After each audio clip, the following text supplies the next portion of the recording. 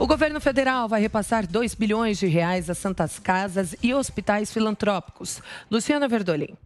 Olha, o presidente Jair Bolsonaro anunciou que vai assinar medida provisória destinando 2 bilhões de reais para santas casas e hospitais filantrópicos. A preocupação do setor é com a chamada demanda reprimida, ou seja, por conta da pandemia, muitas pessoas deixaram de buscar atendimento médico e adiaram cirurgias. Como a Covid não dá sinais de que esteja acabando, os pacientes começam a voltar a buscar ajuda para outros problemas, o que deverá, segundo o presidente da confederação que representa o setor, Mirocles Veras, pressionar o serviço de atendimento porque nós não temos mais tempos de esperar. As nossas Santas Casas e hospitais filantrópicos estão aí no enfrentamento ao Covid, no enfrentamento aos pacientes de alta complexidade, já que representamos 70% dos pacientes atendidos pelo SUS no Brasil.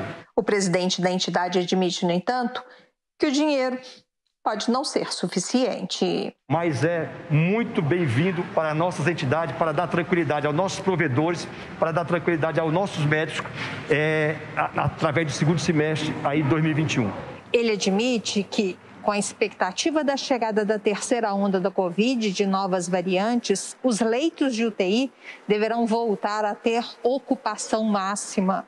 Hoje, em média, a ocupação em alguns estados já seria de 70% a 80% dos leitos. Ele defende a necessidade, inclusive, de se rediscutir o financiamento do setor.